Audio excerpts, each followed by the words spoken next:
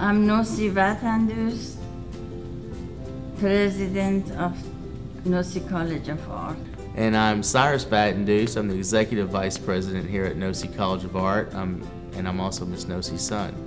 We're going to ask you this question. So, so mom, okay. Now remember, I said mom. So, mom, who at Nossi College of Art is your favorite employee?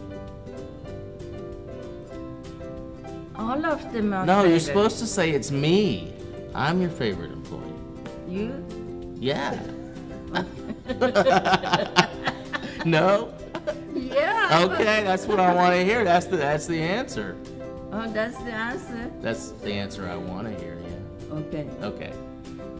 I'm just kidding. Okay. Hi, Mary.